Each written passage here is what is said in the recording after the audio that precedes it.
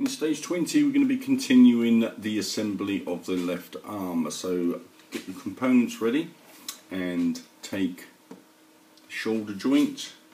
Okay, and with the shoulder joints as you can see in steps 1 to 4 we take the shoulder joint and where the cable sticks through placing that through the hole like so and once you've done that you then take the servo cable and place that through the other hole pulling that through.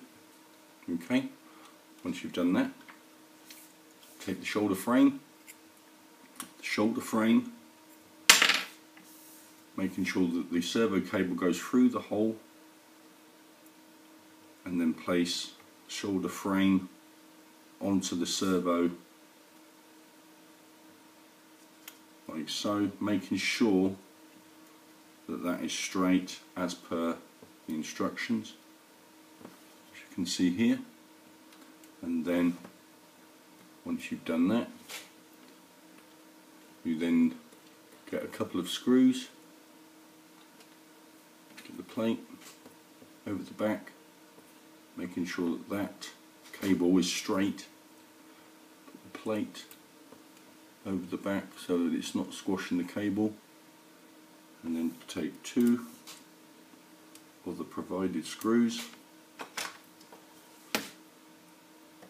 And then just carefully screw that down into position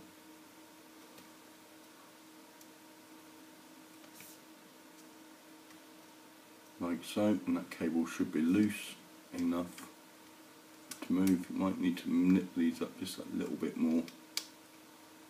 Once again do not over tighten okay?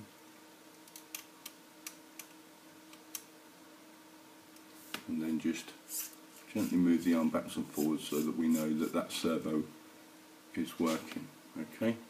And that completes this stage